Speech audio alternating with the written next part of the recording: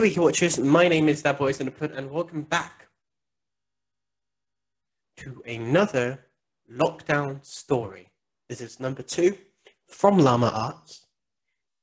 So let's watch the video. School Lockdown Stories 2. I'm 22 years old, fresh out of college, and I recently got a job at my old high school as a sort of computer intern in the school basement. The basement of the school is I'm sorry, but that is Ugandan Knuckles. Do you know the we? If you don't know the we, then you do not know the way to the queen. sorry, I just had to do that. very messy and disorganized. But there is a small three-person office that's actually very nice down there. It has three nice big desks, two mini fridges, a flat-screen TV mounted on the wall, and oh so satisfying air conditioning, a luxury the students and teachers cannot enjoy in the school. And of course all the school servers and other computery stuff. I got the job because three of my old computer teachers flat out adored me. I could actually consider them as real friends, not just teacher figures, so they all helped tremendously in landing me this job. It's been great. Until something that happened a few weeks ago. Oh god. My two coworkers that shared the office with me, Dave and Gary, weren't in the office at the time. They were upstairs working on papers or whatever. I was eating my sandwich during my lunch break when I got a phone call from one of the women in the front office telling me the school was on lockdown and that somebody, possibly armed, had entered the school. There wasn't much that I could do other than turn off the lights because, surprisingly, as nice as this little office was, it didn't have an actual door to it, just a big opening, and the door to the whole basement That's didn't even have a very good, working lock. For my own safety, I did turn off all the lights in the office and my computer screen. I kept my phone on the desk, texting both Gary and Dave, but they wouldn't respond.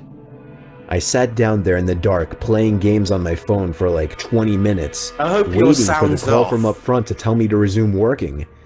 I had no idea what was happening. I couldn't hear what was going on upstairs from down here. But I was not allowed to make any calls until I was informed that the lockdown was over. Then the noisy basement door opened. As the creaking echoed across the basement and into my office, hiding? I sat up from my seat, wondering if I should call out Gary or Dave. I was eager to get some info from them. Someone then came running down the stairs and their footsteps were approaching my office. I pushed away my chair and crawled under my desk.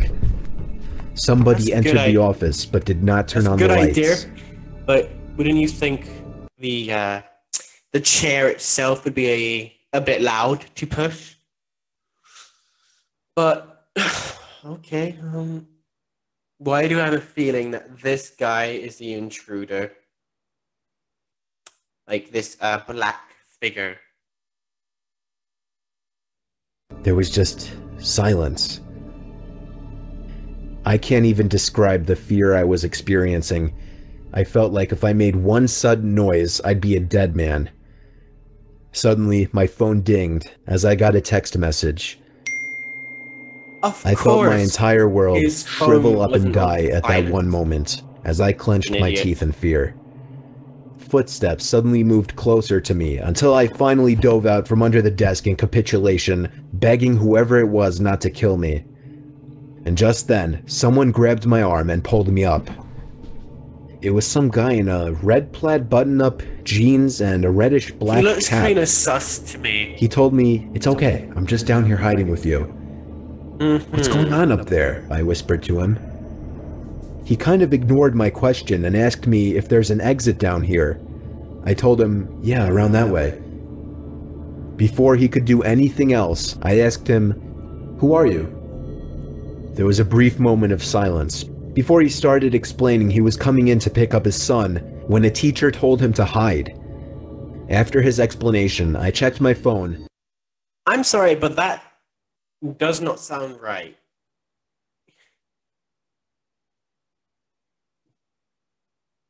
That does sound a little bit suspicious. and saw the text I received was from Dave. It said, Dude, this is fucking crazy. Some guy with a gun shot Mr. Buckley. He's wearing a red shirt and a hat. Whatever you do, don't come upstairs. I was about to reread that text out loud to the man until I realized. I looked up and felt my stomach sink. The man seemed to catch on to my suspicious stare. Hmm. Panicking, all I could think to do was to run for the upstairs. A gunshot echoed through the basement, and I could hear the bullet ricochet off something Okay, metal in the darkness. But thank Luckily, God the bullet bullet missed me, hit and him, I made it upstairs. Fortunately, police were waiting at all exits, including the basement exit, and caught the man the second he opened the door. More good news. Good. Our teacher, Mr. Buckley, survived the gunshot. That's It was later determined that the That man and Mr. Buckley had some beef for whatever reason, but that was never revealed. All we know is that Mr. Buckley couldn't have done anything that would have warranted this kind of reaction. And I know that the sound of that gunshot will forever echo in my mind. Well, you first off, what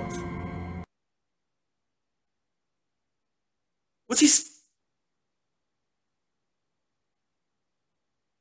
Okay, I was not expecting that.